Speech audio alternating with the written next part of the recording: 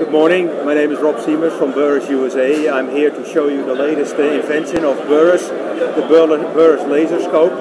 With this scope you can shoot uh, uh, your distance to your target and at the same time it calculates your ballistic holdover. It makes it the nice way that you don't have to, to don't have to guess your holdover. It puts your dot straight on your target, what you can see here in this picture.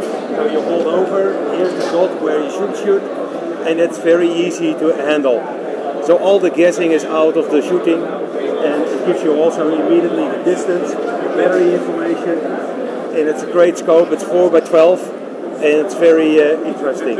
If you want some more information about this fantastic ballistic laser scope, please go to burrisoptics.com and you can find all your technical information, where you can buy it, how you can get it, and what you can do, and all the features for which cartridges you can use it. Please come back to our website.